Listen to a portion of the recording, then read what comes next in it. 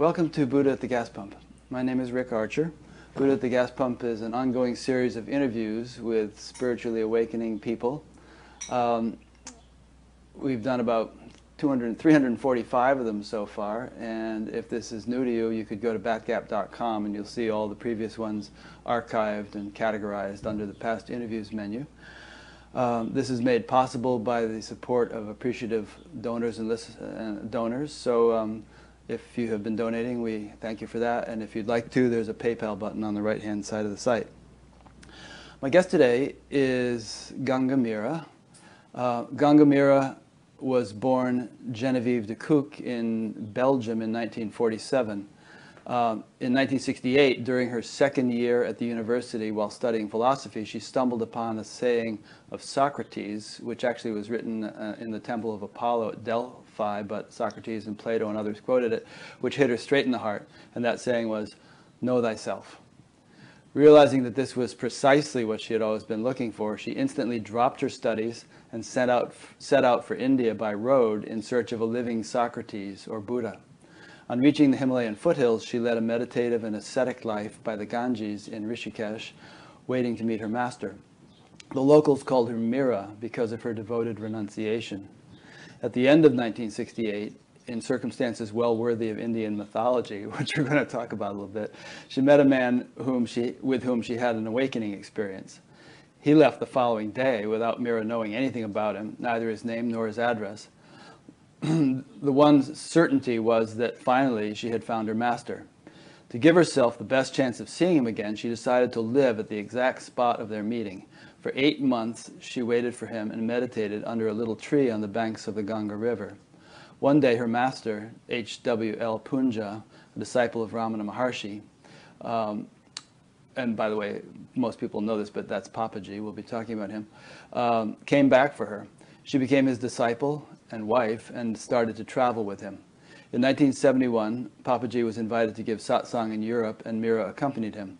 Their daughter Mukti was born in 1972 and the little family went on traveling the world. For the education of her daughter, Meera returned to Belgium. In 1990, H.W.L. Punja, also called Papaji, settled permanently in Lucknow where he gave satsang every day until he passed away in 1997. In 1998, Meera was invited to give satsang, which she continues giving to this day all over the world. She decided to call herself Ganga. In 2004, Ganga Meera moved to Portugal. She lives near the wild ocean of the Algarve with her daughter Mukti and her grandchildren and gives satsang four times a week. So, ah, now you don't. Now you don't have to say all that.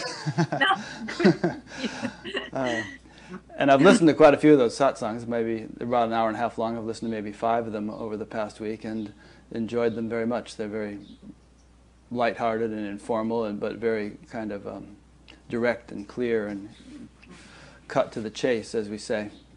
Um, so I'd like to go over some of these biographical things a little bit more, if we could, because you have such a fascinating story. I told. Uh, David Godman that I was going to be interviewing you, and he said, "Oh, you should read uh, certain pages," and, and nothing ever happened. So I, I managed to get a hold of the books. Um, nothing ever happened is a, an extensive, over about 1,500 page biography of Papaji, and I, I read the whole section, all the sections I could find about you. And every time I started reading something, I got so caught up in the story that I just kept reading, even past those particular pages. So that's a whole fascinating thing in itself.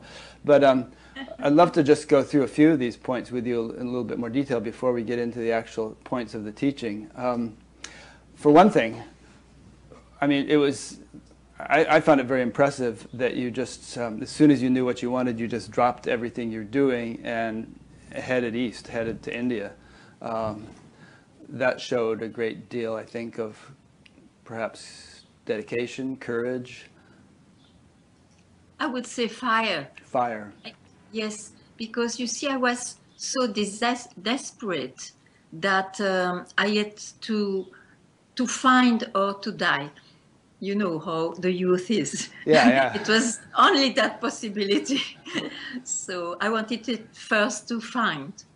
And I believed so much in the ways of the Buddhas because of my background you know, I, I read a lot and I was always fascinated by the stories of disciples and the Buddha, or uh, this lineage at least. And um, so, yeah, I had to, I, I was sure, I was determined that that was the way to find a living master. So, if you had already been reading a lot about Buddhism and so on, you must have already known about the concept of knowing the self, right? But how, how is it that this saying of the, the oracle at Delphi or, or Socrates suddenly struck you when your previous reading hadn't hadn't done so? You know, I was probably not that much matured. I was just very attracted by uh, wisdom, even though I didn't, I could not put a name on it. But when I read Socrates, then suddenly I found that was it because I put the, the, the question to myself and I, not in a psychological way. So, and I could not answer. I saw this is it, but I don't know. Mm. So the time was right and it really hit you yeah. hit, hit deeply. Probably. Yeah. And this thing of, of hitchhiking to India amazes me. I mean, you, you couldn't do that these days with oh, no. and live to tell about it. But but in those days, I guess a lot of people were doing it.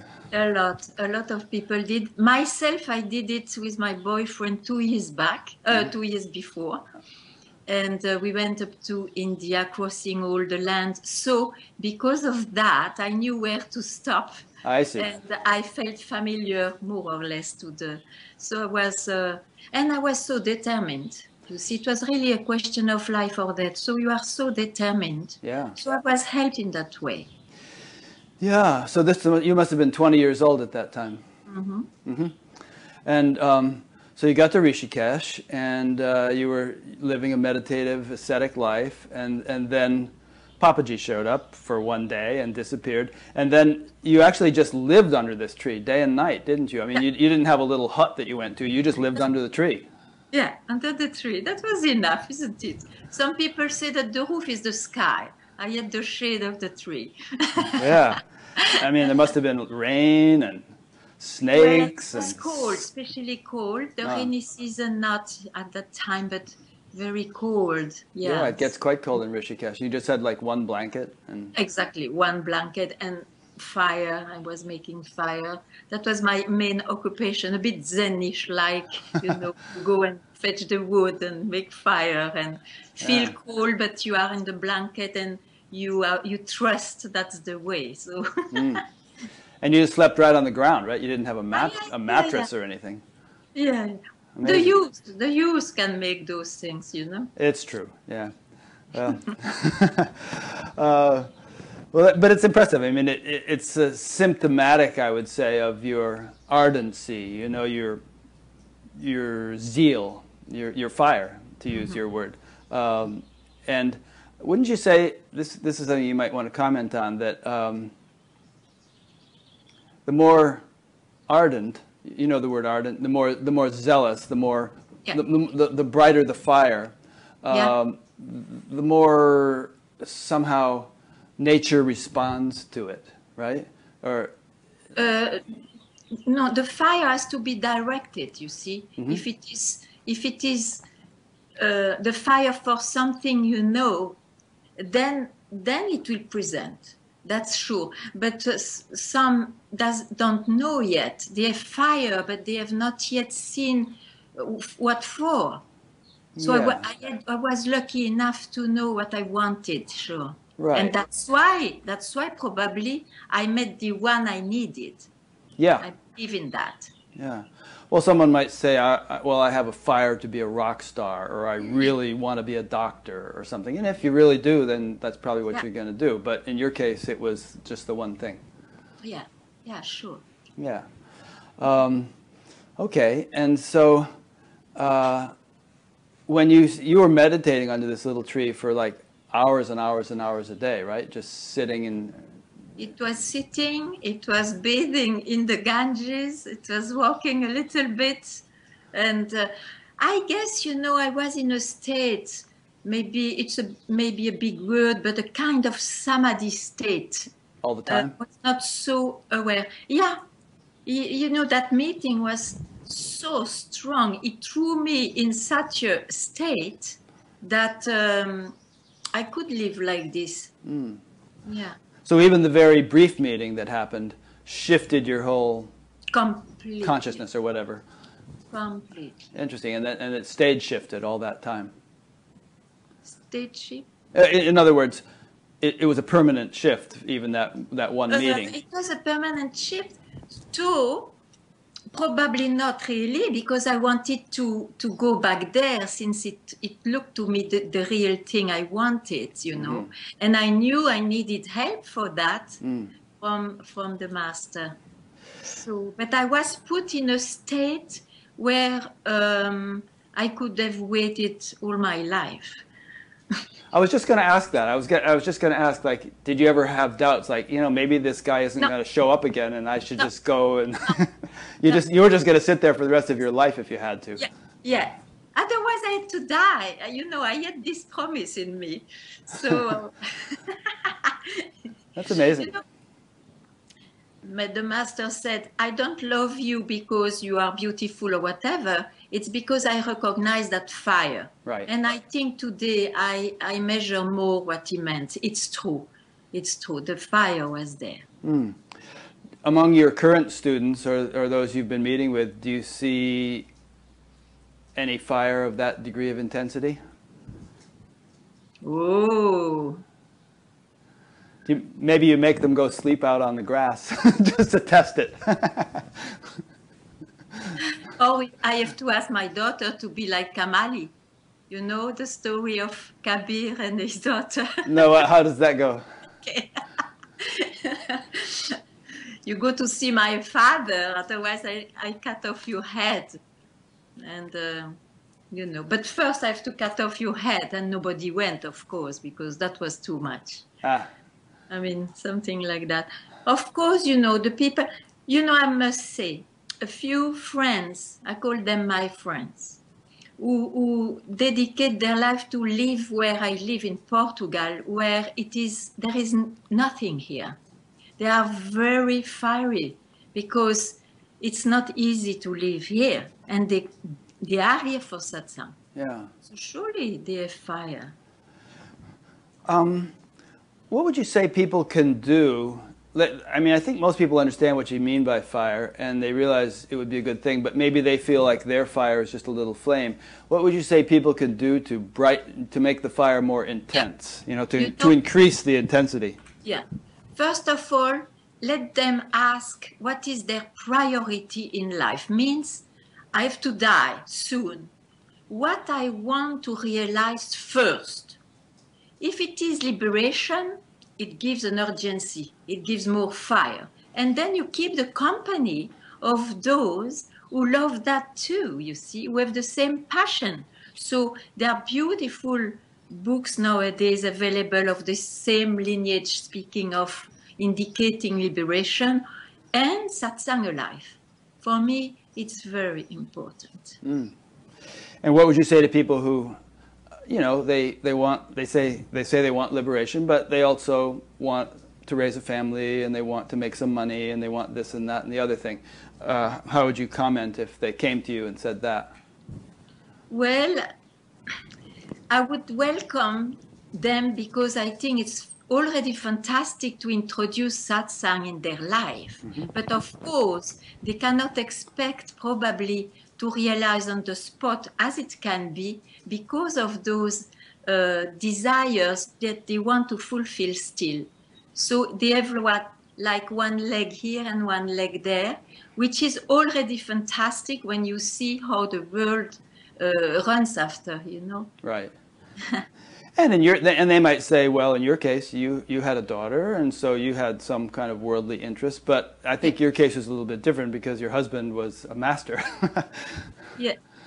And also, you know, uh, you may be surprised I speak like this. Uh, it was not my desire. I was uh, following, uh, believing in uh, the path of detachment. So um, I totally um, surrendered to, to whatever was happening with my master because I know that was the most precious. So it was always for me, uh, the master was the first. It's I never forget, forgot uh, him as a master Right. first. You see, and now of course the wonderful thing is that I'm, I'm very happy that he gave me a daughter, a family, and it removes also, it removed the separation between this and that. What do you mean by that? I mean that you can cook and still be totally fiery to to if if you didn't realize yourself yet to dedicate a second to that whatever you do. Yes. whatever you do. That separation is has always been erased by the master. Because you know the time i was with him it was like uh, we were walking busy marketing uh, the market uh, to buy potatoes or making tea or simply sit or hearing him uh, there was no particular moment. Every moment could be that one. So it didn't so much matter what you were doing on the outside, Not but so apparent, you know, uh, appearances were superficial, but on the inside, that fire was burning. Yeah. It's, as you probably are aware in the in the Bhagavad Gita, it says that you know it's a very great fortune to be born in a family of yogis.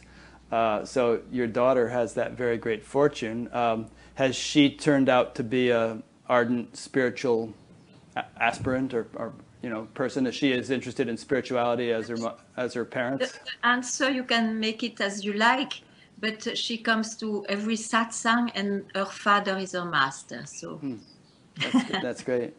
And she has a couple of children herself now. So your grandma. yeah, yeah, Yeah. nice. Um, okay. Um, you mentioned that in this little bio that I read that for the education of your daughter Mira, you returned to Belgium in, in uh, you returned to Belgium, and in 1990, Papaji set up. You know, in, in Lucknow permanently. Does that mean that you became separated, or were you somehow back and forth? And Oh, of course, we were visiting. First of all, we never felt separated up to a certain extent in time because our uh, letters, correspondence was very intense. Each letter I wrote, he was replying with great love and great teaching in it. So we were with him actually. yeah, Now, uh, physically, we could meet him only every three years because of lack of money. Yeah, because of that. Uh-huh. And uh, but uh, as I say, uh, that was not felt like this. Now, in 1990, in 1990, when he was in Lucknow, that was another phase of his life. You see, so uh, it was not. There was no place for a family life yeah. as we knew him. So for us, that was a big shift. Yeah, at that point he became kind of famous, and all these Yeah. all these people who are now satsang teachers were were there. Neelam and Gangaji and Mooji and all these pe- Andrew Cohen and all kinds of people were were Sure. hanging around him in those days. Yeah, which Yeah. was a, which is fantastic. And you know, when I met to him in '92 in Lucknow, I really knew my time is over. I had I had so much, you know. I had to chew that now really by myself. It was time for others. Yeah, that was wonderful, isn't it? Huh. Uh, when I saw his satsang, first satsang, in a quite different way, in a bit like this, in an official way, he gave. He said everything in one satsang that I had to hear all those 29 years. I mean, it was extraordinary. Huh. He packed it all into one satsang. Huh? Yes. Yes. So, Interesting. Um, well, it's my experience. I don't know if it is. I think I heard you say in one of your satsangs that I was listening to that it took you about correct me if I'm wrong, but this is what I gathered that it that it took you about 30 years before realization took place. 29. 29 years. Yeah. Um, so that it, that sort of sounds like realization took place just around the time that you left to live in Belgium for educating your daughter. Is, is that about right? No, no, no. Oh. No, no. You know, 68 till 1997 makes 29 years, no? Okay, good. Yeah, my math is Yeah. off. Yeah. No, no. I was still a seeker. So I must say, I remember in time because anyway, it's an experience in time. Yeah. Uh, I didn't take it this way, but today I can say. In uh, 1987, uh, the search dropped. 87. Yeah, hmm but I was, I was, um, and I felt we without daring to tell myself, and but hoping it is so. Uh, this is it, but of, you know, I was in such a good school that I, I was surely not telling anybody. Yeah. So, but um, later on, I saw there was still a seeker Mm. having no search. That was Ah. my trap. That's very interesting. It's interesting you should make that distinction. Um, there's there, there's something like that in my own experience where this, the, there's this feeling that the search dropped some time ago. I don't know exactly when, but there's no longer because I can remember what it was like to just be uh, dying Yeah. and yearning and gotta have this, and, and Yeah. now I feel a great deal of contentment.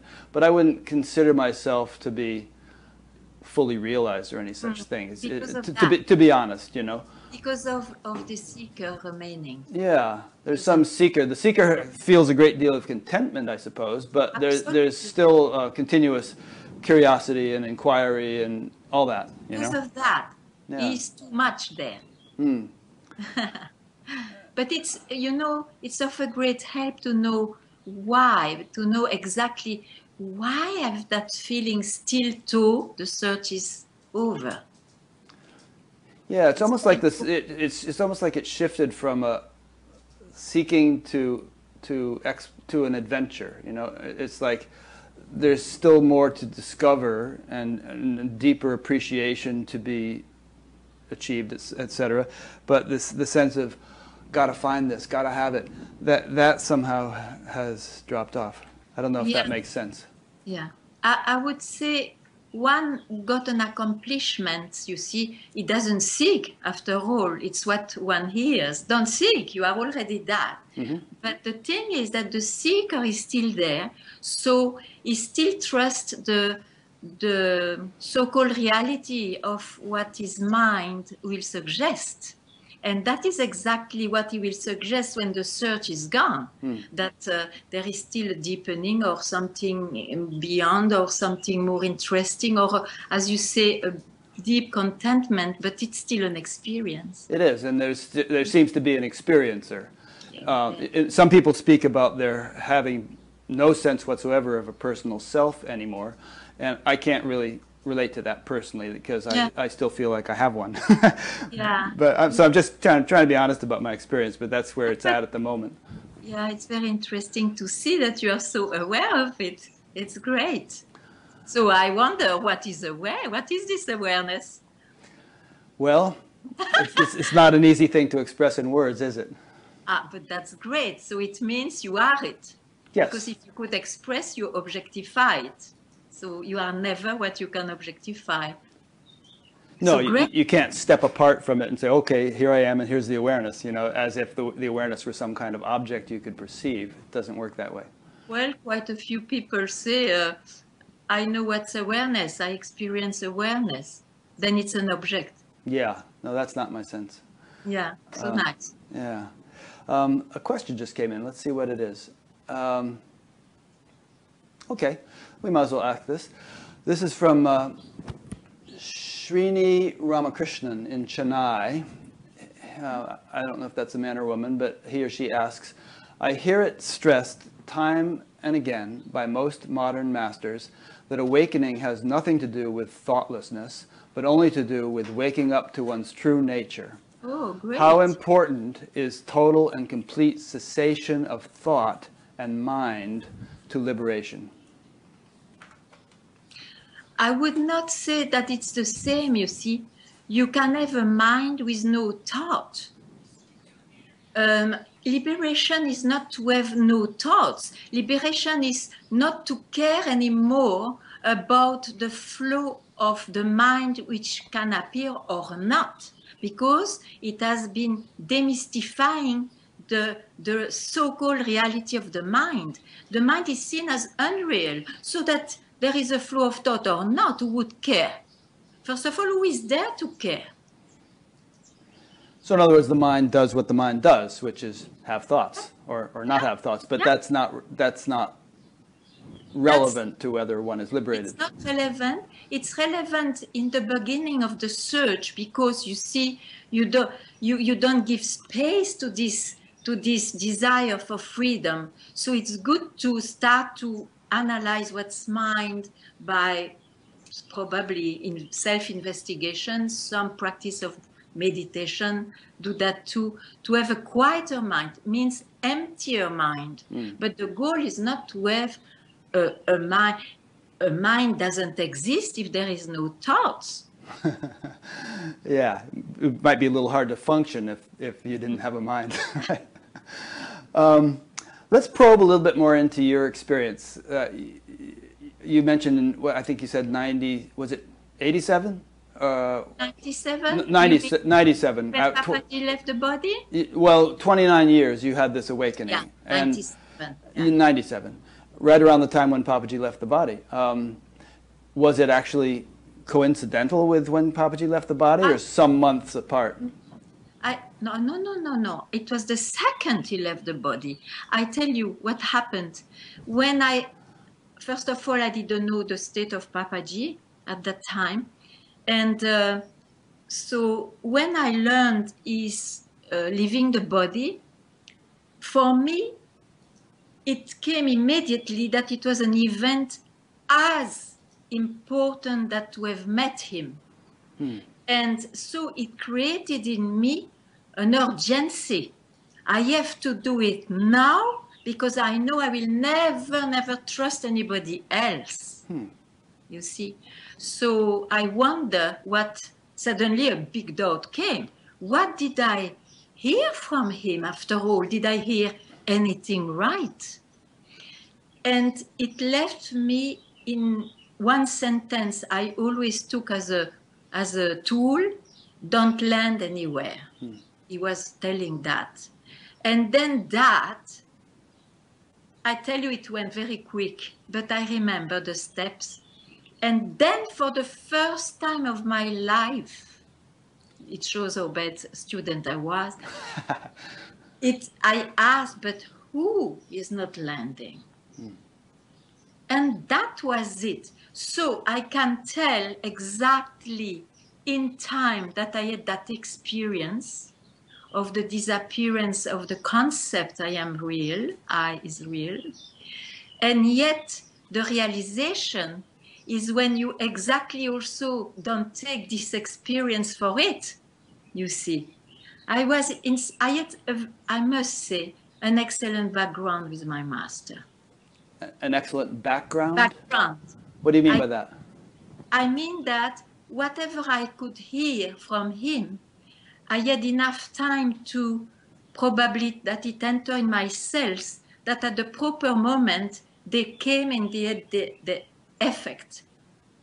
So it, yeah, so it just finally came to fruition at that time. Yeah. Yeah. Yeah. It's very interesting. It's, it's interesting that at his death you should right then have the big shift. Um, I know when my father died, I didn't know that he had died that day. And, and I was having this incredibly blissful day, and I was thinking, what is going on? Why am I so amazingly blissful? Ah. And, and then later on, I found out he had died that day, and I wondered after whether there had been some kind of connection between me and him so that when he was released from his mortal coil, I experienced some kind of release at the same time. Probably, Yeah. probably, sure. Huh. Sure. So I wonder if somehow Papaji's Mahasamadhi, in and of itself, was a catalyst for your. Probably because you see the urgency and the, the, the knowing I cannot go anywhere else if I cannot, to whom I will ask then. You see, Right. I knew that will be not available anymore. So that created for me this. Yeah. And so, how would you characterize your experience prior to that day, day to day, you know, going through your day? What was your subjective interaction with life like compared with after that day when that realization had taken place? Ah, there, it, there is nothing in common. absolutely nothing. What I thought was real, but still I could not. There was somewhere a lack of of something. Uh, was still very peaceful, and I had no more uh, questions about knowledge and whatnot, and I, I could. I understood master. I could even tell the same uh, answer as he was telling. I mean, I knew the subject well, but it is not, you cannot compare. It's uncomparable. So that was before you knew the subject. You could you could speak the words and so on.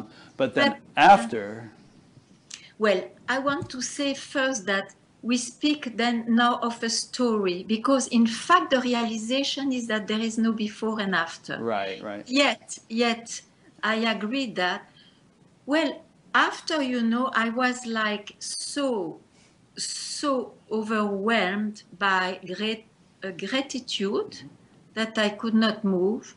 And uh, I think at that time it was a great blessing also to have been alone uh, in Belgium, in Brussels. And so I stayed, uh, I think, two months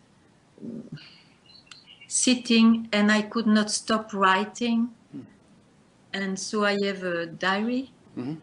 and um, of revelations, knowing very well that I would not take the revelations for it, but I could not help, you know. just wanted to express it. Yeah, yeah, I had to. It was too too strong. Did you ever publish that? No, it's in. A, I never read it again.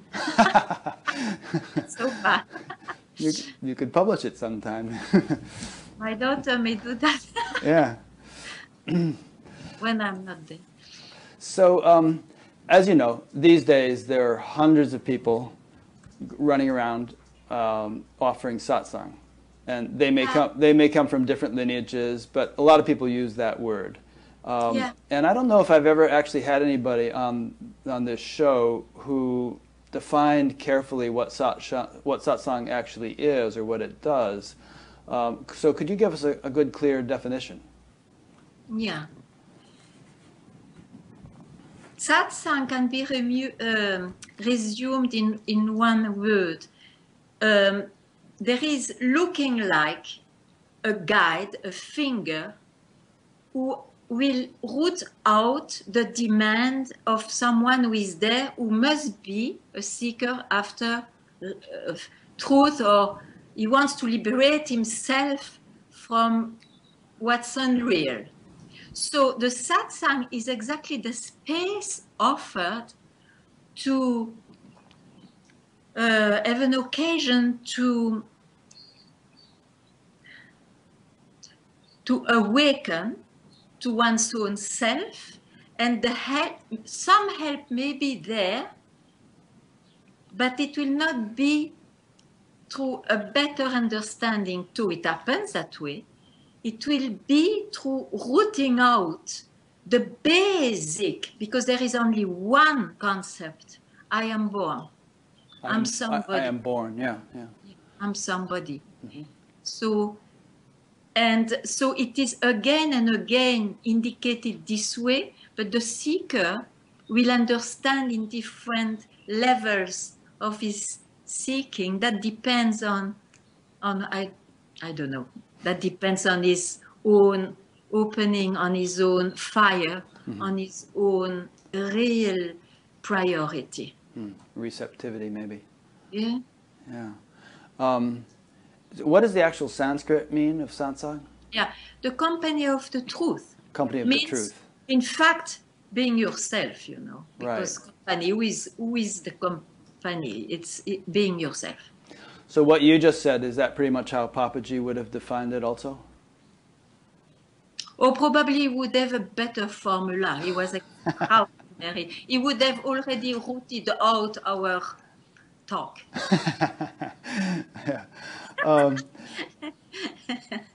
and would you say, I mean, both in terms of your own satsangs and in, as a general principle, um, is satsang um, primarily for spiritually mature souls, if you agree that there is such a thing, those at the end of their seeking, Um, or is it for pretty much anybody, regardless of their? Anybody's welcome. Mhm. And soon, very quickly, they will see it, it fits them or not. And those who are perseverant, good luck for them. Yeah, perseverant. Perseverant. Those those who persevere. Yeah. Yeah, yeah. Mhm. It means it it fits their demand, or at least more and more they see that's what I want. Yeah. Mhm. So you know, you might say those those who have a fairly bright fire, to use that term we've been using. Sure. Um, So you mentioned a minute ago that it's not so much about any intellectual understanding that is transmitted during satsang. It's it's more it's deeper than that. So would you say that it's there's some kind of transmission of silence um, no, that takes place, or some some sort of transmission, or or or I don't know attunement that takes place? no, I w- no, I I would not say so. Okay. So what are I- what are the mechanics then? Those who, who come, but I don't leave it like this. I must say that um, surely um, I come um, quiet. I'm quiet even though I speak, but and I respond to what's coming. Now, as Papaji, I see in the beginning of a satsang, sometimes I'm really, very often, I'm inspired, even if it is short, to say something. After the silence, something comes which can inspire or give a tune or a particular theme that day. Um, but you see, satsang is not to specially experience silence because then it's a circumstantial silence that you can also have at any time in the life. I would love that those who still think they have a mind see that it's exactly because they think that their mind is real that they are in trouble. So they should hear, and that is repeatedly uh, said in satsang, that who has, whose mind?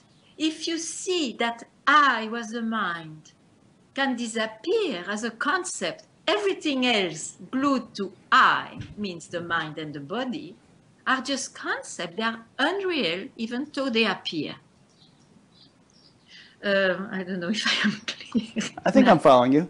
Um, and so, what you just said is something that um, is attempted to be conveyed or, un, or appreciated, that you would like people attending satsang to appreciate, that uh, that which they take to be real, that which they take to be themselves, is ultimately not real and is not ultimately who or what they are. Is that what you tried to just say? Yes, and I, I like to to direct to the root because it is of I don't say of no use because I used myself for years, but uh, finally uh, you have not to um, to try to see that this concept is unreal or this or this or this. You have if you solve the root, all the rest will follow. hmm So I try to show that this is very important. And so, how do you uh, go about getting people to the root? According to what they say, I try always to throw them back where they already are. Uh huh. So, That's for so for instance, if they were to say, "Well, I'm, you know, I'm, I'm very unhappy because this and that is happening in my life," or something like Yeah. that, then you might say, "What? To whom belongs this unhappiness? Is it not to your mind or body? You Mhm. see your body mind, you see this experience. So, who are you? And you know, uh, this is a bit uh, uh, such a traditional teaching, and sometimes it's more like a Zen, a strange answer which may root out. It depends. Sometimes it's a bit more with explanations, and sometimes not. Yeah, But it's always to try to root out the first or to indicate, to indicate that it is the I, the, the trouble, and not whatever happens to the body or mind. Mm. And and how's that going for people? I mean, uh, to what extent do you feel like people in satsang come away with a, a, a shift in their appreciation of who and what they are that, that actually sticks, you know, that actually somehow yeah. lasts for them? If it is an experience, it will never last. Huh? Mm-hmm. I don't know about what, but if they come, it must they must be attracted by something. Yeah. Mm. And do you um, advocate or recommend or encourage anything for people to do um, when they're not in satsang throughout the week, like I don't know, meditate or or any kind of any any sort of daily routine that might be conducive to uh, to their quest? Yeah, first of all. Um, I would say be on fire.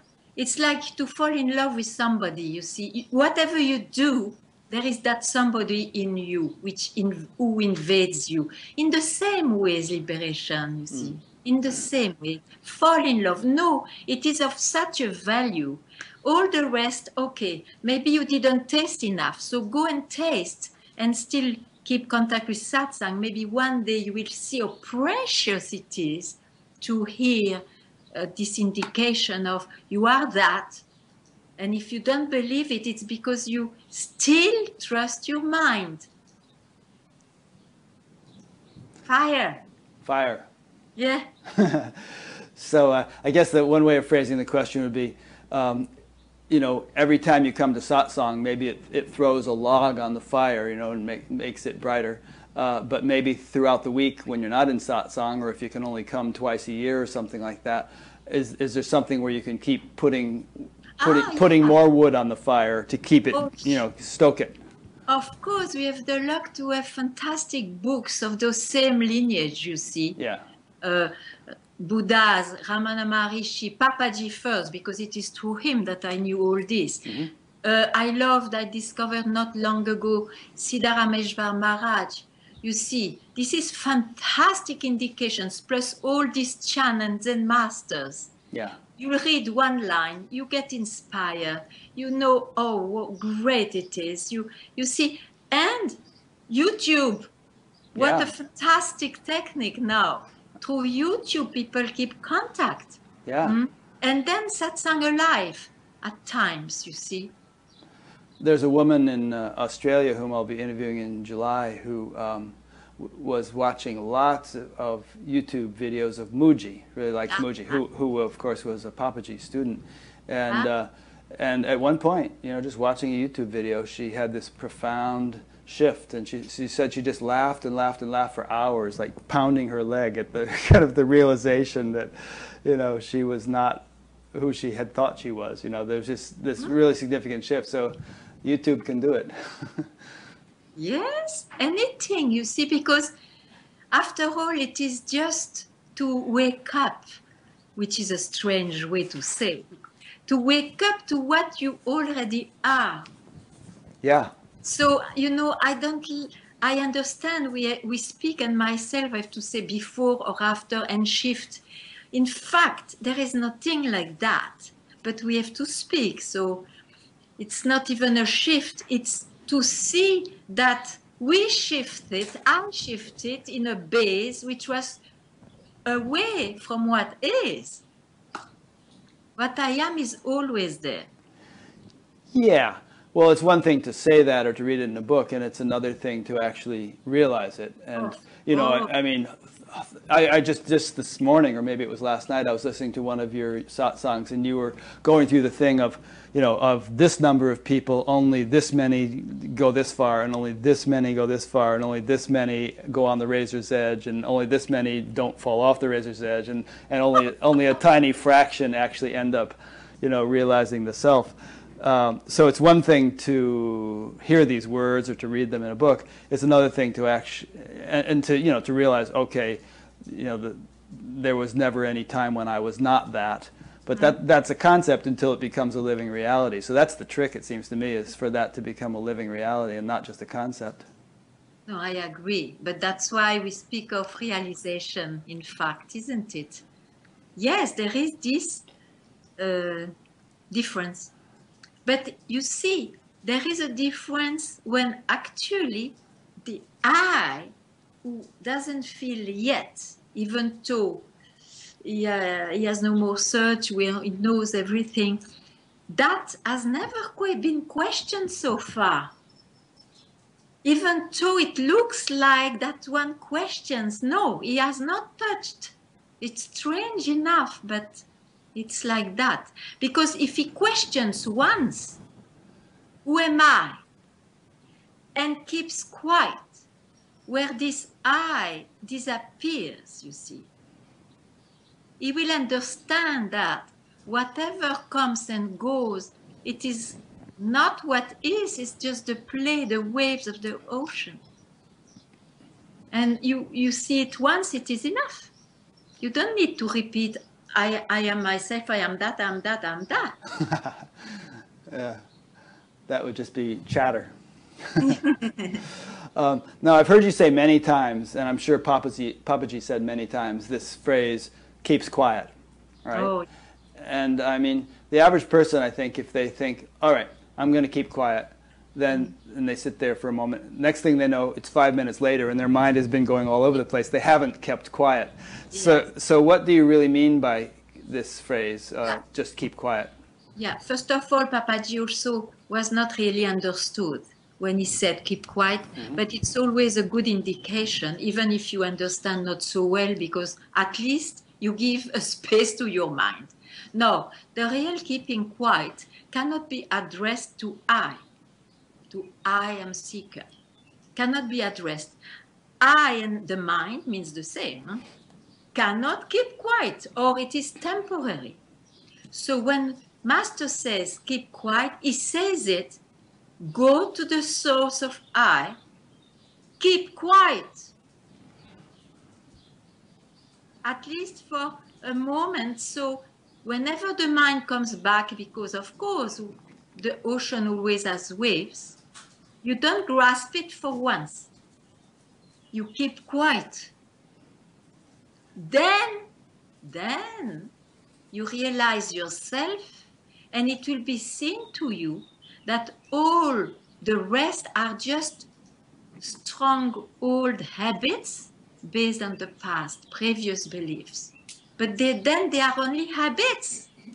They are no more real. So this is something that one should do repeatedly. Keep quiet, keep quiet, keep keep sort of As coming long- back to the source, back to the source, right? As long it's true. As long as he feels that his habits are too strong still.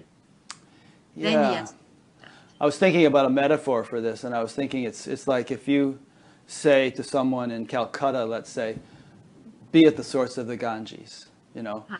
Or, or stop the river, let's say, stop the river. It's a little hard to do in Calcutta. The river has tremendous force. Even if you said it in Hardwar, you know, uh, stop the river, there's still a lot of force at that point. But if you said it in Gangotri, if the person could somehow be there, then when, when the river is first emerging, then it might be easier to stop it or re- redirect it or something because it didn't it didn't acquire this huge force yet. It is only that's why the keeping quiet cannot be done before. You have to go there and then keep quiet. Hmm. It is enough. So using that metaphor, you somehow have to get to Gangotri, the, the source of the river, and and then fr- if you can somehow get back to that point and keep quiet and and stay there, then you're really living up to what is being advocated by this phrase "keep quiet." Is is that correct? Yes, yes, it is. Okay, so maybe that metaphor will be helpful. Um, so again, then, I guess the, the, that begs the question, well, you know, like you said, strong habits. Uh, if, if the mind is like a river which just has this momentum and, and you know, it's, it's habitually busy and active and so on, how does one actually, I mean, is, is it sufficient to just sort of have the, the intention to whew, get back to the source and keep quiet? Or is, is there some means or, or method in some way to actually accomplish that? Because I think a person could go on for years with that intention and, and still the mind is unruly. Nobody does that. Don't think so. Mhm. They don't understand. they, they think that it's a kind of practice and that they fall into a state of keeping quiet, which is temporary. And they think it's real, and through more serious practice, they will one day be permanent there. Nobody does that, very few. And those few is because they finally understood the indication, you see, Mm. that can be done at any time for anybody.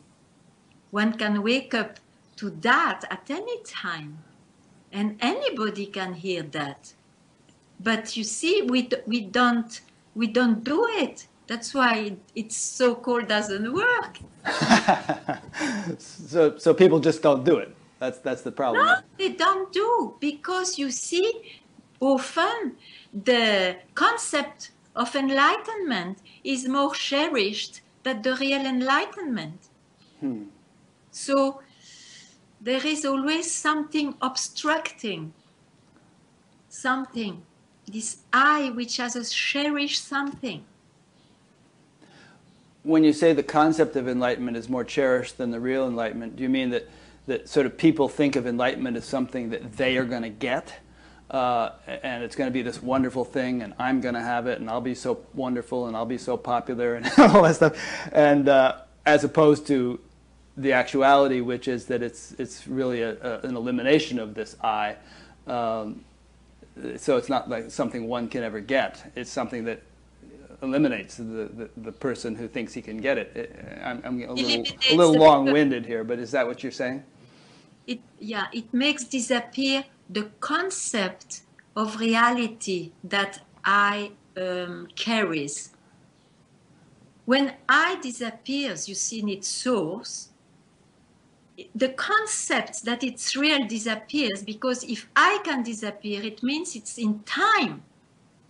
It is in the mind. It's part of the mind and not as one thinks. Yeah. Um, I think maybe some people are. Some people might think, well, wow, she was with Papaji as close as one can be for 29 years before she got realized. So what hope is there for me? You know, I, I don't even have a master, or maybe I, there's some teacher I go and see once a week or once a year or something. Uh, if, if it took her 29 years, it's going to take me 29 lifetimes or something. Oh, what would you say to those people? The hope is that I say myself I, was a very bad student. Oh, you're just being modest. I'm sure you were you were a very good student. I mean, you were exemplary. You had to, you know, you, you sat under a tree for eight months in the rain, or no rain, it was cold.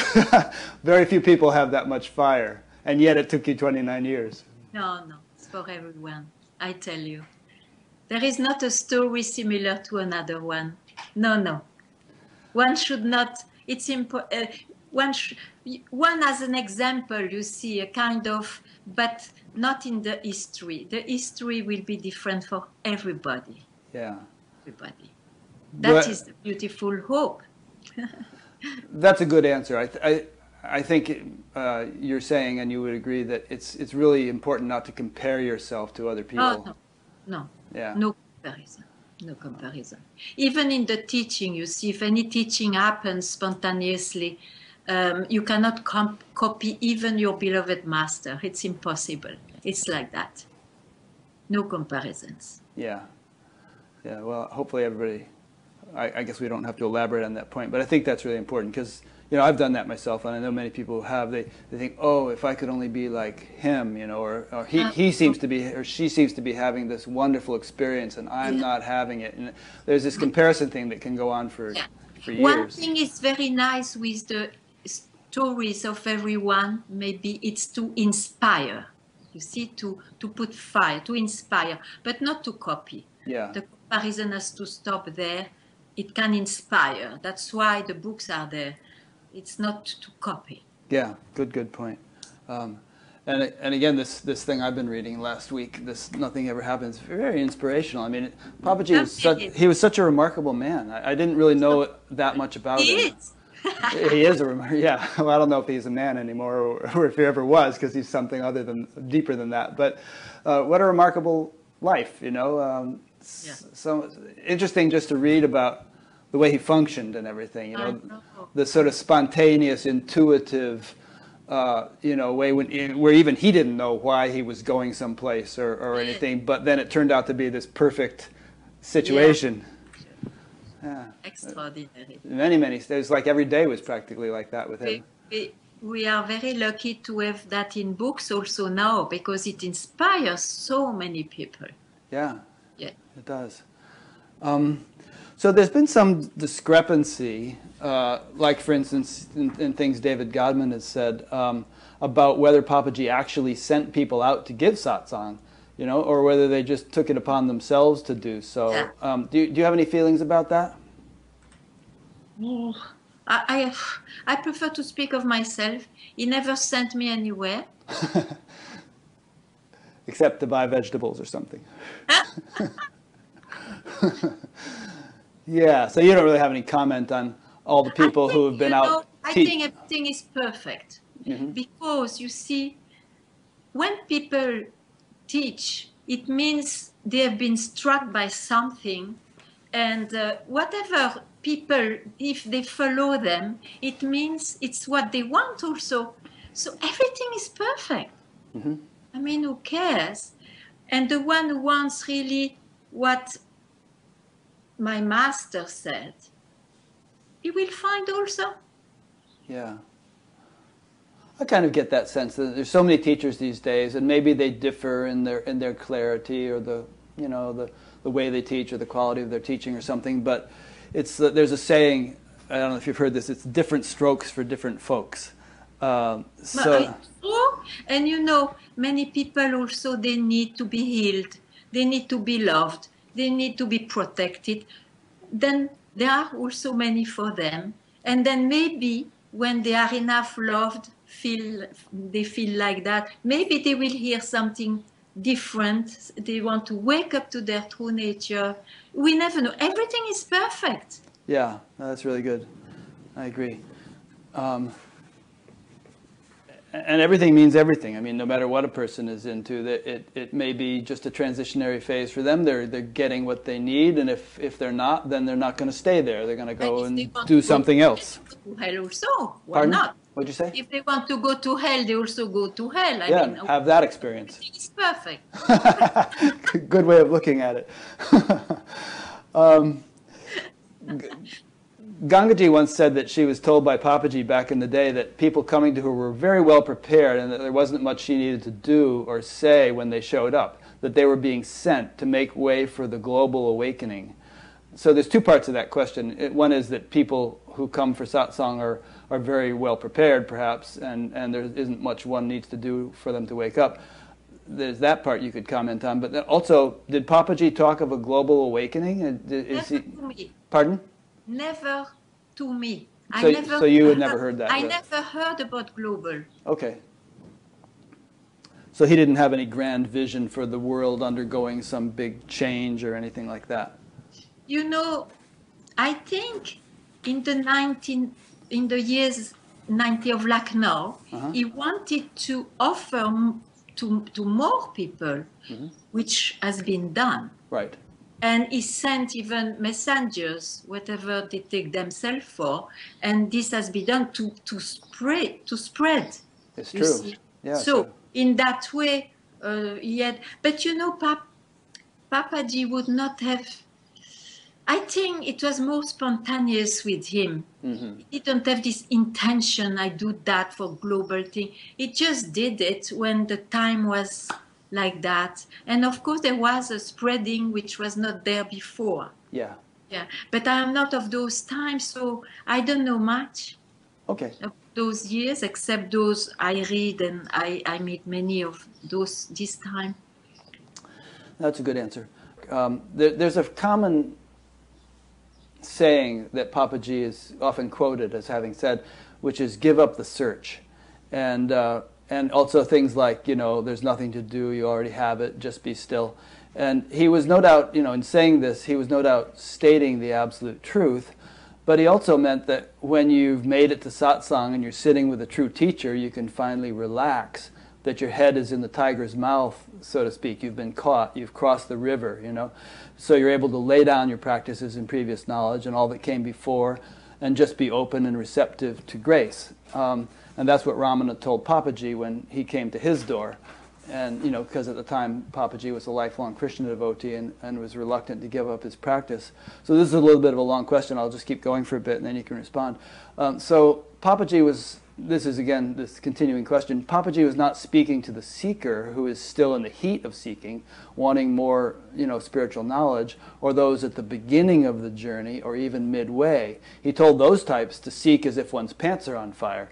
You know, uh, so there's different teachings for different stages of the process, and you know, the, the questioner here is saying, so sat, satsang is the end of the process, the end of the Vedas, the end of seeking, the realization that surrender is the only avenue after one has exhausted all strategies for awakening, which is why taking a master's words out of context does not do one any good. Um, so she's saying that the truth of Vedanta is not understandable to the average person. It's easily misinterpreted. Most are not ready for it. Would you, would you agree with all that or comment on it? I mean, there is not much to say, to add. The thing is, I told you, welcome to everybody to satsang. When I say satsang, it may be the direct indication, you see. Mm-hmm. But those who don't feel uh, it's not for them, they will go by themselves they will go somewhere else where they feel it's more understandable, it's more their thing for the for that time, and the others they stay. So we don't even need to say all those things. It happens naturally. Yeah, but you would, you would sort of agree with that, even though it's not necessary to say it. I like when it is labeled so much because then it's like the select, selected ones. We will fall in these archetypes again of selected ones. I don't like it. It's for everyone who cares. Yeah. cares. And those who, who don't feel or attracted, they will drop and find something else. Yeah. No, that's a good point because if we went by what she said in that question, then people who were at satsang might feel like, well, I'm the mature. No, well, no, know, I, I, am almost finished. All these, all these beginners go.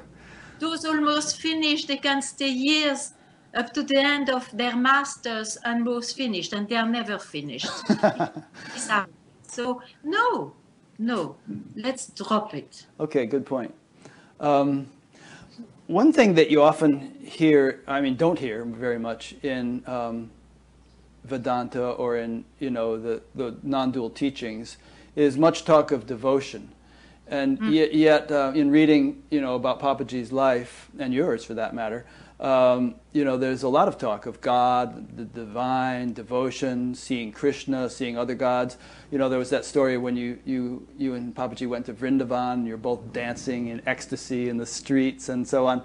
So, um, what, what, role would you say that devotion has to play in this whole realm of yeah. spirituality? First of all, I don't. The, the real devotion, you see, is uh, towards the truth, mm-hmm. to hear, to be, to love, and to love the guide that you still need, uh, because he will bring you. You trust he will bring you to the truth. That devotion, um, and there is no self-inquiry if you don't have devotion for it. If you uh, are not devoted to to the one who tells about it, it's so natural. It goes together. I don't think it's possible otherwise. But then devotion doesn't just mean sort of determination or fixity on one's teacher or, or one's path. It also means f- great feelings of love and bliss and you know that kind of thing that you read about if you read the Srimad Bhagavatam or, or other devotional texts. You know the Bhakti Sutras and uh, and all that. So and it seems like Papaji was a great devotee. I mean, you'd hear these stories of his his love for Krishna and you know prostrating in front of Ramana Maharshi's picture, and and there was nothing flat or dry about it. Uh, seemed a, seemed a very heart oriented kind of experience. Yeah, but Ramana Maharishi said also to him that is the devotion is God not here now. What's that? So Ramana told also Papaji, is there God, the, your devotion here now when it was not. Right. So all those are experiences which come, of course, why not? It is like wonderful toffees of your own self. Come and love me, love me more and more. It's worth, you see. But they are experiences. So we should not uh, be um, washed away also, even though um, what a blessing. But they are experiences, huh? Yeah, I got that's a good point. Um, they come and they go. In fact, that's a famous story of Papaji that, I, as I recall hearing it, that he was late for, for showing up or something to see Ramana, and Ramana said, "Where, where were you?" And he said, "I was playing with Krishna." And he said, "Well, is he here now?" And uh, nope. you know, so he, he was kind of pointing to that which is always here. Because of that, he could finally, you know, um, keep quiet. yeah. Yeah. To his life, in nothing ever happened.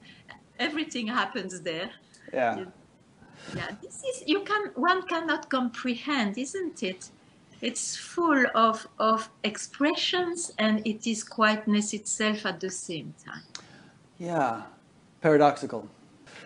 So um, I have a question about uh, stages of development. I've heard you say many times there are no stages of development, you know, and and um, yet, wouldn't you say that you know, Papaji, for instance, was in a more advanced stage of spiritual development than some of the crazy people who came to him, you know?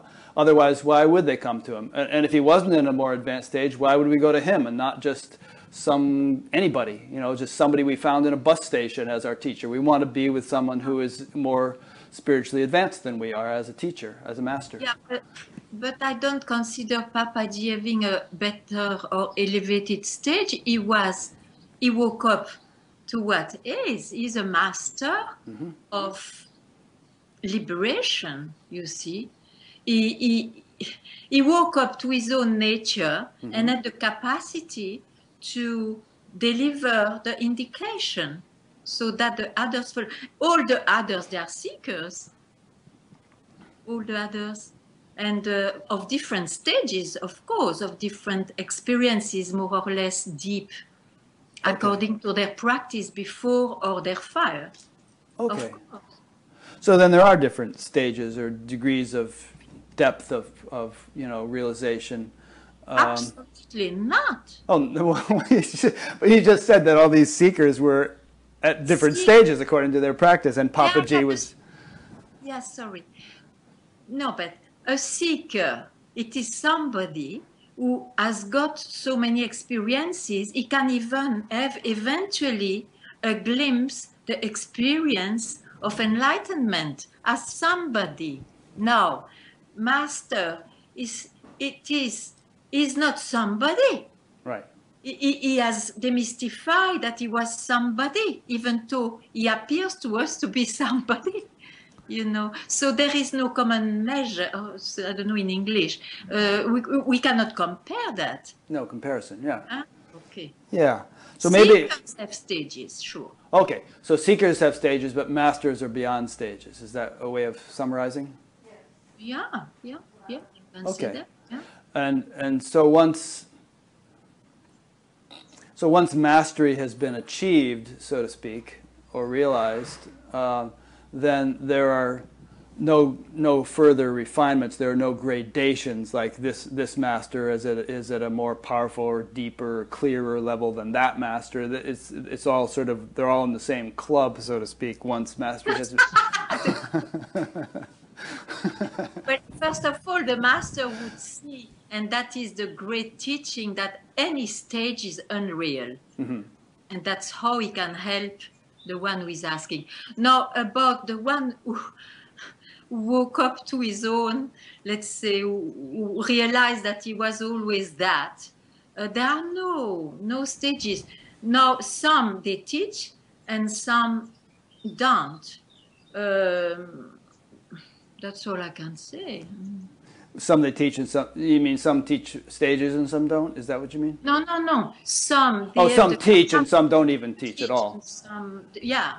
Yeah. I, I, guess I've not met, but it's possible, of course. Well, sure. I'm, I'm sure that there are you know, sages or real, realized beings who it's just not their dharma to teach. They they just sit in a, they sit in a cave or they sit under a tree or whatever, and Or they, they are, or they are husbands. or their husbands. Yeah, they might be working working in a business or something. We never know. Yeah, now I know people like that. Um, there's something else about this question I wanted to ask. Uh, maybe it'll come back to me. Um, Oh yeah, just that, um, like, you know, if you read different books like the Bhagavad Gita or the Yoga Sutras and all, you know, they do they do talk about you know st- uh, types of samadhi and stages of of the uh, development of the seeker, if we want to put it. So I guess that kind of corroborates what you were saying. You said for seekers, yeah, there are stages, but for one who has gone beyond all that, no more stages. Just yeah, okay. Just, just to reiterate. Um, I heard you say in one of your satsangs that um, you didn't you didn't make much of the notion of vasanas. That vasanas, or, or I'll, have, you define vasanas, but that vasanas could be in any way a um, a, a, a deterrent or an obstacle to realization. Um, let's just discuss that for a little bit. Yeah. We, yeah. Okay, because I know that it is in the mind and uh, of a seeker, or even if teachers are there to tell, first remove your vasanas or make them sattvic or so pure that they quieten and all that, and then you will realize. But you see, I don't believe in this gradual uh, work which will never come.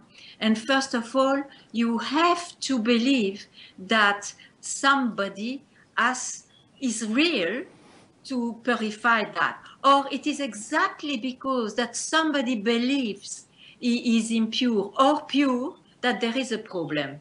So we have to again question, but who is this I with this concept? Rather than to start to clean it, and if it is unreal, then what was the use? All the energy and all the life went on. Well, let me take a, an extreme example. Um, Yeah. Let's say you go into a, um, a psychiatric hospital for the criminally insane, and you sit down with a group of psychotic, violent people. Okay. Uh, you know, just to take a really extreme example. Yeah, yeah. And um, you know, and then con- contrast those people with the people who come to your satsang in Portugal. I mean, Yeah. wouldn't, wouldn't you say that the people who come to your satsang in Portugal are much more receptive, much more sort of able to hear what you're saying than the psychotics would be? And, and so for the psychotics, it might be valuable to attenuate some of their vasanas, to sort of purify and clarify and, and you know, just be, become a more sane person as a, in, in the direction of being able to appreciate I satsang. understand. Yeah. No doubt about it. But you see, this is not my job. I'm sure that a few compassionate, beautiful people do that. But I can't do that. It's not into my capacity. I am just good at this, that's all. That's what I do. But others, I'm sure, and I hope it is done. Oh yeah, well, I'm not suggesting that you go into a psychiatric hospital. No, but I, I explain. I explain that people will be there to help them. You know, yeah. it's sure. No, but the reason I brought that up is to show that now there's an example of people who have a heavy load of vasanas, people who are, let's say, really crazy.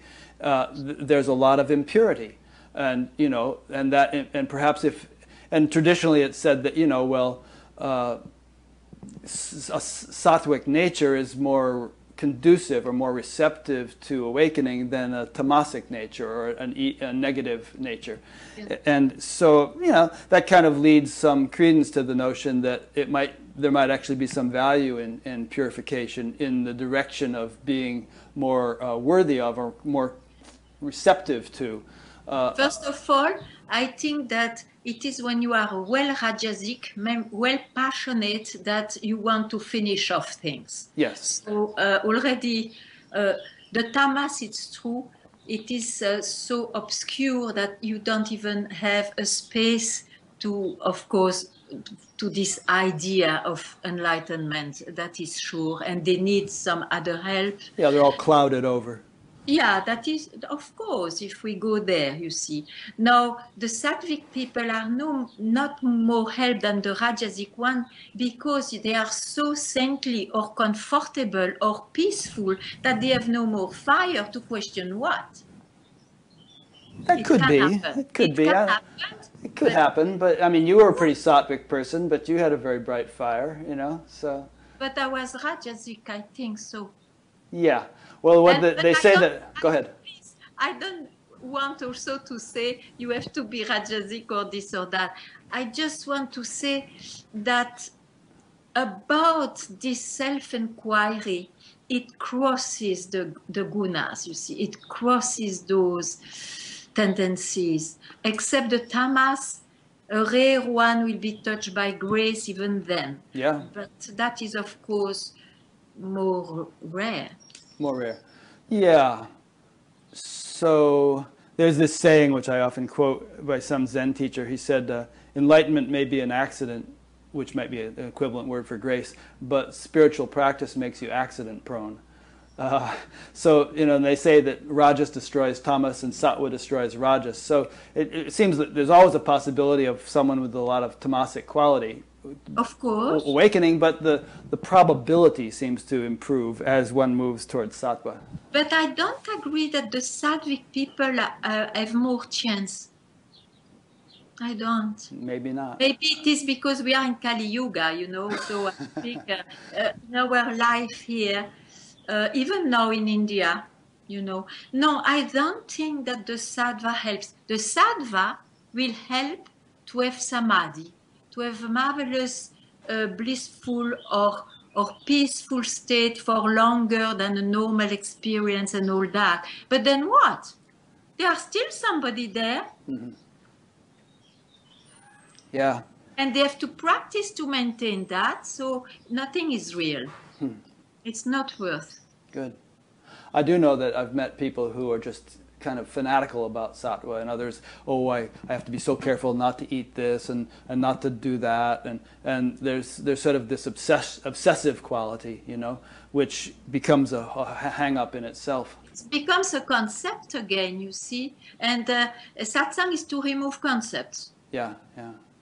otherwise uh, when we will be when we will have a, a moment a time free from concept if we have to fulfill the concepts tell me yeah.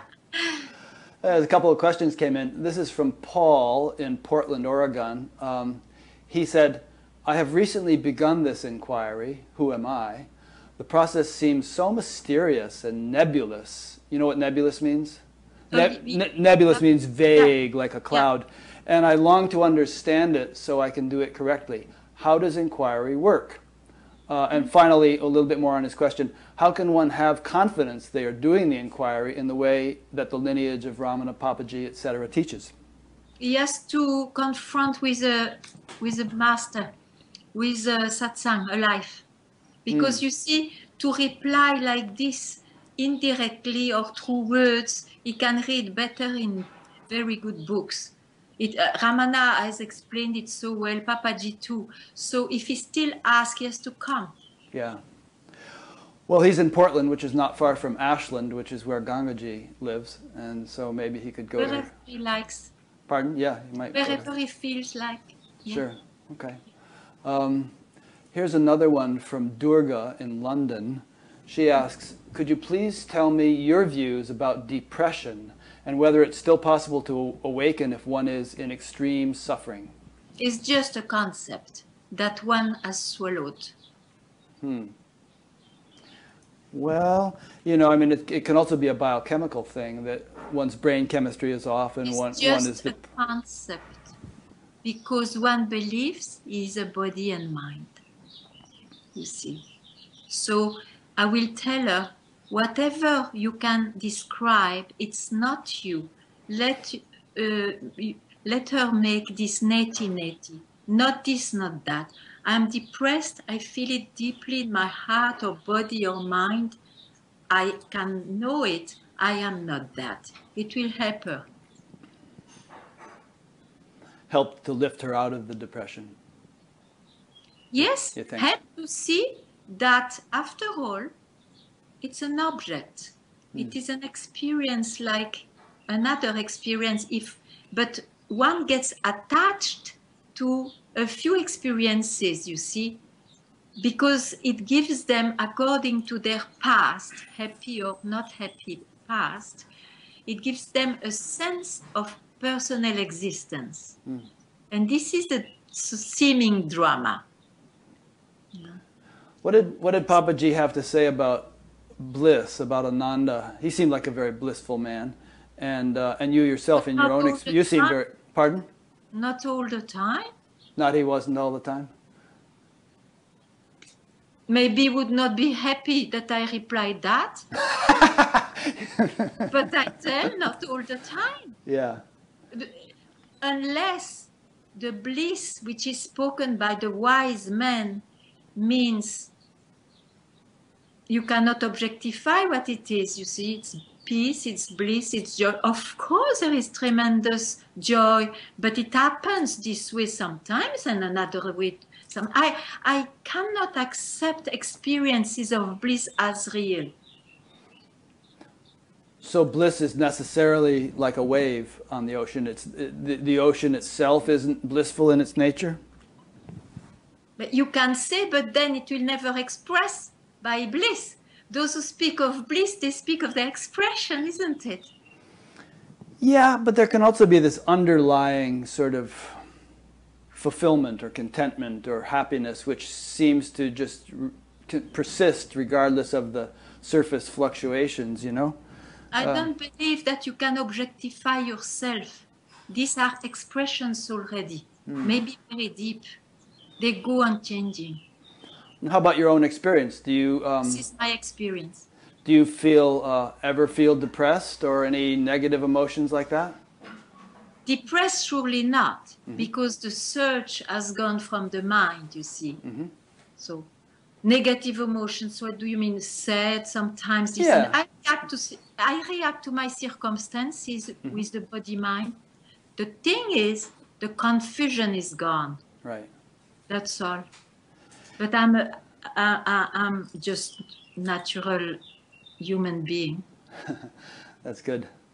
And even when you're feeling sad, is it all consuming? It's like, you know, like, like with some people, they might be so overshadowed by it, like just sadness, you know, completely. That's my world. Um, if you have a wave of sadness, It, there are waves. they're waves on the surface of something much deeper. It's not lived like that, you see, because I don't think there is separation anymore. The sense of separation is not there. So, in that way, I may say, when I'm sad, I'm sad, and when I'm not sad, I'm not sad. And it doesn't give more doubts or, or thought about, oh, I was identified, or hmm. oh, that was not the truth. All that is gone. Hmm. So, So you're just living naturally. it looks like Yeah. Hmm. Um, I read in uh, this is a strange question maybe, and you don't even have to answer it if you don't want. But I read in uh, in David Godman's book that Jean Klein thought that Papaji was dangerous and warned warned students away from him, and I found that that a little puzzling because you know from what I know of Jean Klein, and uh, he seemed like a very you know enlightened man. Um, so what was his problem with Papaji? Oh, you should have asked him. I didn't get the chance. He was surely a gentleman. Yeah. Okay. Well, that's a tactful answer. um, okay. So um, we've covered quite a few things. Um, what haven't we covered? I, I know another question uh, will probably be coming in in a minute, but um, is there anything that you would like people to hear or know that we haven't discussed so far? I am a bit blank. I, uh, you gave me blank. Okay, I'll try to stir up something. No, in- let me just try to- Well, let me ask you this. I know that you have these nice satsangs online. I've listened to about five of them now, and um, people can do that. And uh, I, it also mentioned on your website that you travel. So do you actually go around the world still and do satsangs here and there, or do you pretty much stay in Portugal now?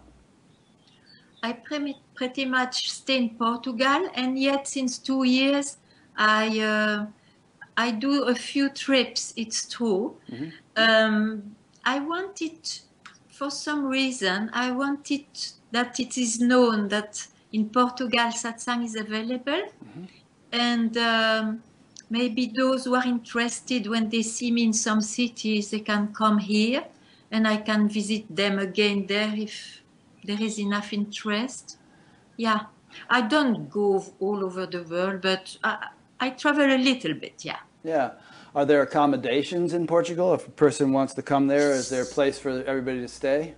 They are. It's a bit the weak point because I don't have an ashram, but everybody so far finds places. Yes, Hmm. it's okay. It's okay. Sounds like a nice place on the seashore.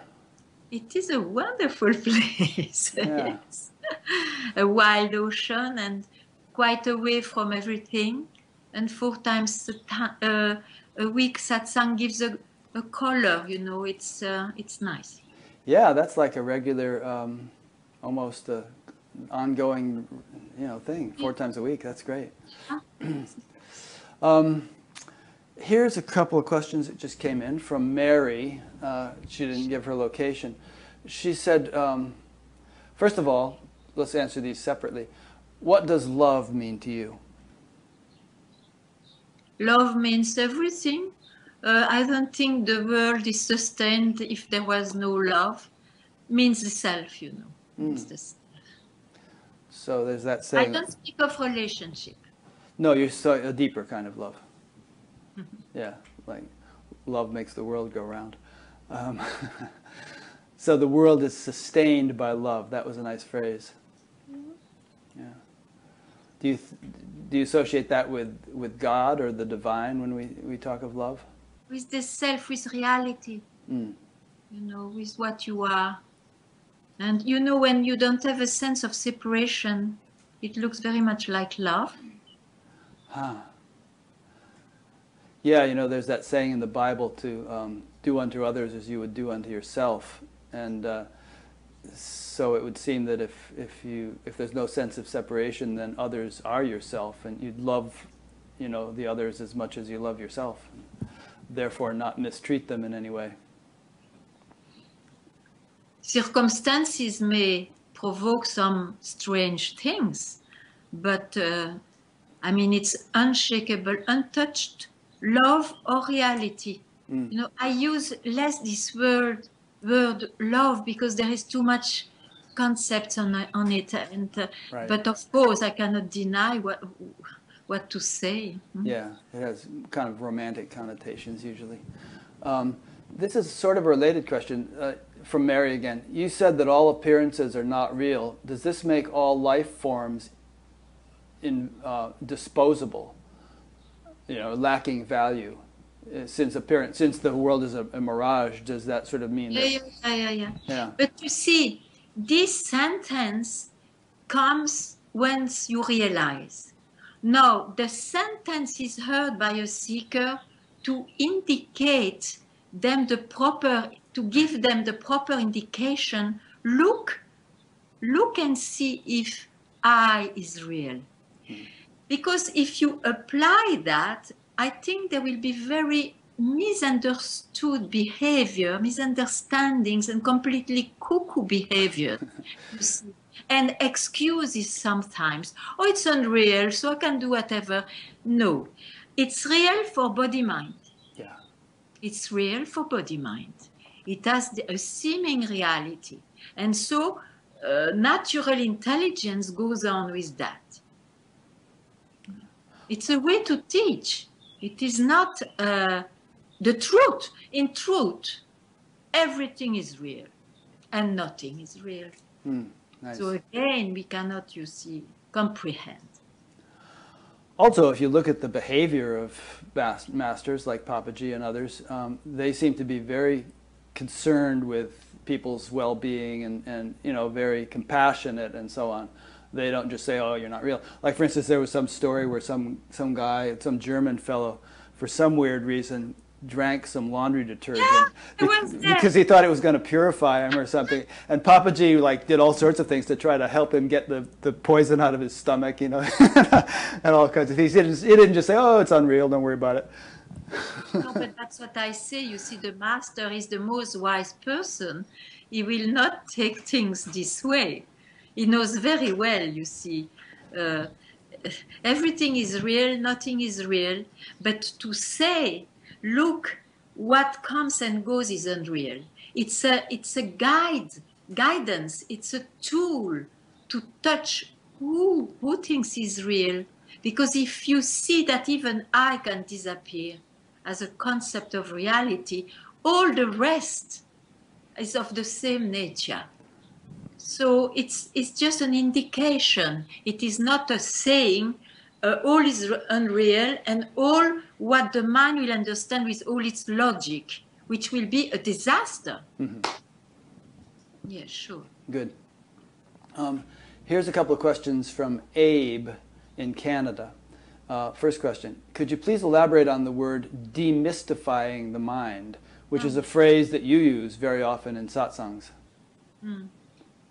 to see that the mind is just an object of yours and to go back then more easily to the subject instead of being mystified by objects and its hypnotism generally Hmm. to slowly go to the to the root subject it's the subject which is into cause into question Uh-huh. So not be so caught up in it. In other words, get get yeah. yeah Okay. Um, second question. Would you please speak a bit more about keeping quiet? Uh, we talked about that earlier, but he wants some elaboration. I understand that it is not physical quietness, like not talking. Would you say it is um, as the passive experience of the waking state in which the I is arising as anything else?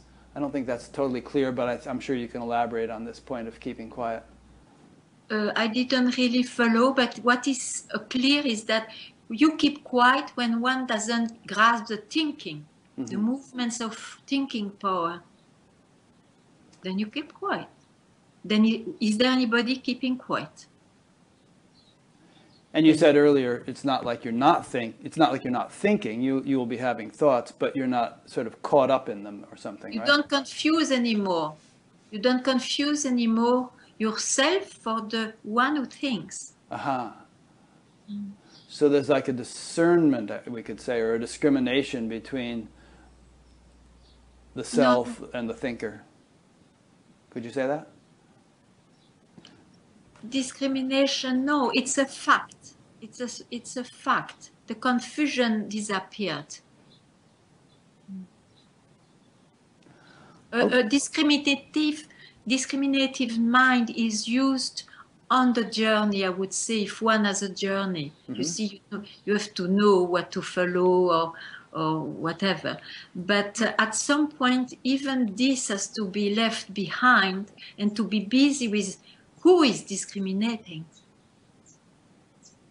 This is the main the main point if there is any. Hmm. Is to know who is who is discriminating, who is thinking, who is acting. Yeah. First to be clear that you will not solve anything with the infinite objects of the mind, let them be, be subtle in the mind or in the body, but you have to question the owner of it, the doer. Yeah. And when you really do that, don't you find that the doer actually is not a doer? Because doing doing implies engagement, activity, and so on. And we're referring to something which is beyond the field of activity, aren't we? Absolutely. Activities and doer, they, they rise from who you are and hmm. they disappear into you, who you are. Sure? Mhm. The thing is that we make one step uh, away, believing I. I is already the first expression. It's an expression, but we take it as the main base. We cannot go prior to I, it looks, you see, when we are a seeker. So in satsang, we hear more and more, and or we click, or we get we more and more awakened that oh, that first base we take for granted, in fact, is a step too much. That gives the sense of separation. Mm. So when one goes beyond that, then one goes beyond separation, correct? Absolutely. Separation is created only if you believe that the rising I is real. Hmm. And so if you if you go beyond that, if you have gone beyond the belief that the rising I is real, um, is there still any sense of I whatsoever?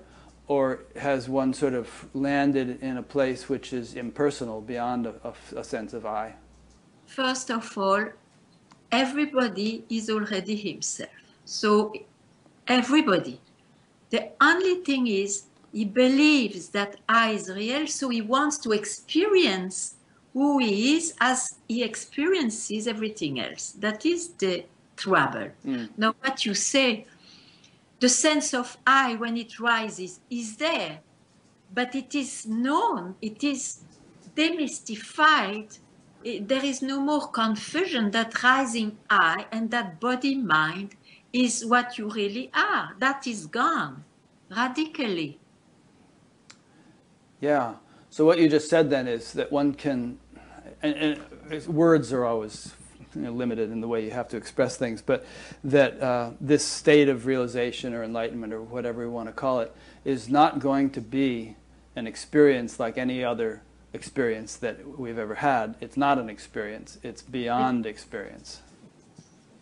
We can even remove the word beyond because it gives this concept that you have to go somewhere or you are not there now. Yeah. yeah. You see you are it there now.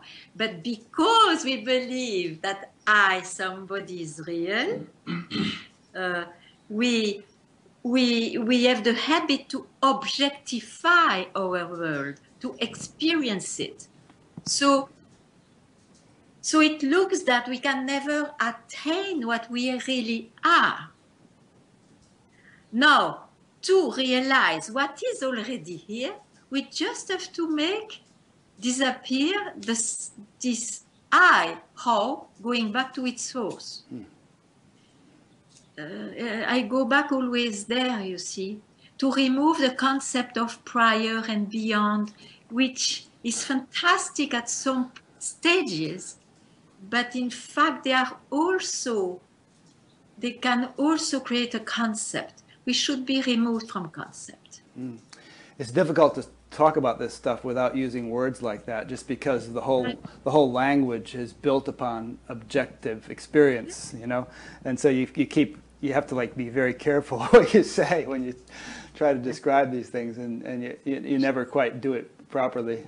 And, and, I don't mean you I mean one you know me or anyone. Uh, yeah sure sure. But also it is the the how to say the passion or the the compassion of the teacher to point out if he sees that the word comes from some places to to point out oh uh, you have to correct here but the same word can be expressed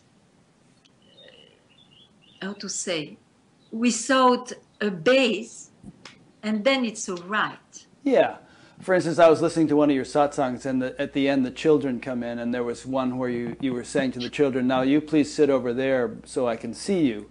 And now, you know, that seems very dualistic. There's a you, and there's seeing, and there's here, and there's there. But that's the way language works, you know, and, that, and you're communicating to people in a relative sense. You want the children to move around. You know, words are uh, inadequate to describe the reality uh, and that we use dualistic words for the sake of practicality. You know, sure. get, please pass the salt, or you know, go there and buy this, and, and you know, how how you do? What is your name? Things like that. But that doesn't really hit hit the, the depth of the reality. So you want to just elaborate on that a little bit? Yes. First of all, it is impossible to describe uh, what is because the mind comes from what is and disappears there. So he's no more there when he could have words to, to bring and tell you know. It disappears. It's just dying there. So but in satsang the the words which are used are not for the word but for the the um, target. They they indicate something else that's different Yeah. What, So was, what what was the word before you said indicate? That for the target, did you say? Or it, it has a target yeah target, target. the word it gives an indication to follow so you don't follow the finger but the indication that it follow uh, it shows Yeah, it points to the moon, but, but it's, Yeah, just, a- yeah. it's just a pointer. exactly they are pointers Yeah, which of course is books and everything else. It's it's uh, you know we Yeah. we need words to uh, communicate.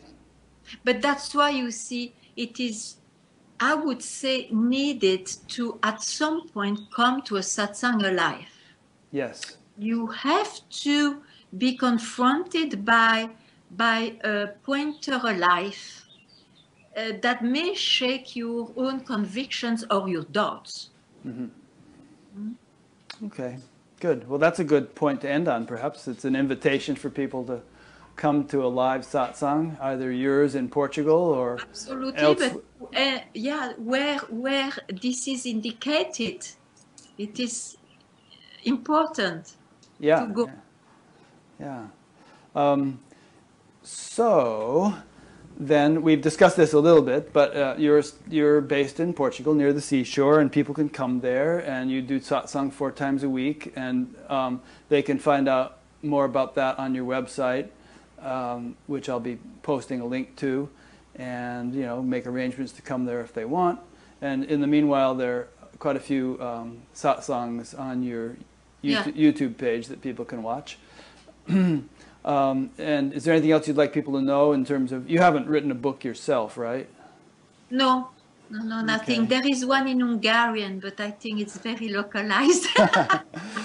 So if, if anybody really wants to read that, they can learn Hungarian. um, okay. Something is prepared. Uh, now my friends are transcribing some satsang and all, but it will take time, sure. yeah, good. Well, this has been very enjoyable. I've really, uh, I really appreciate oh, thank you very much. the opportunity to speak with you. Much. Yes. Yeah. It's a, a pleasure. It was a very good moment with you. Yes, and likewise, I, I've really enjoyed this. So um, let me make a couple of general concluding remarks. Um, I, I've been speaking with Ganga Mira. I'll, I'll be linking to her webpage as I always do with, with guests, and so people can follow up with her uh, and, and explore that webpage, uh, that website, and uh, you know carry on, follow up with what she has to offer.